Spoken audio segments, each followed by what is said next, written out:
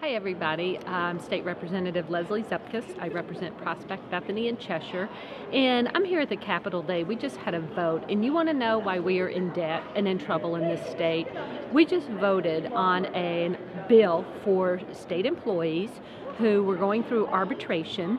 And it was the Assistant Attorney Generals. There's 185 of them and 12 department heads.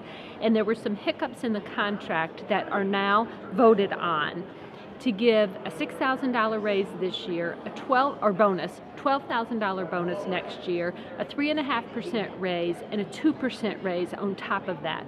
5.5% raises, $18,000 in bonuses, and nine weeks of vacation.